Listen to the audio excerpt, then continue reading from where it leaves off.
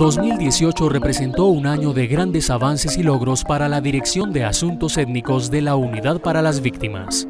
En desarrollo de la implementación de los decretos Ley 4633, 4634 y 4635 de 2011, esta área implementó metodologías que permitieron abarcar a todos los sujetos que están incluidos como víctimas pertenecientes a las poblaciones afro, indígena, rom o gitana.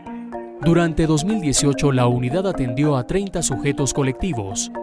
También se avanzó en un proceso novedoso en el Amazonas con las asociaciones de autoridades tradicionales indígenas del Amazonas, ATIS, que consistió en la creación de un espacio de diálogo con toda la región del Amazonas.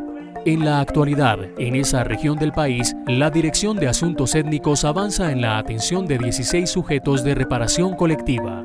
Avanzamos en la formulación de los planes estratégicos en tres departamentos, Chocó, Cauca y Nariño, para un total de 13 consejos comunitarios con planes formulados y validados, cuya protocolización se desarrollará en 2019.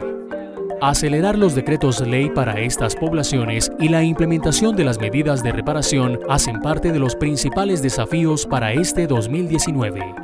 A la fecha, la unidad cuenta con más de 500 sujetos étnicos en el registro único de víctimas.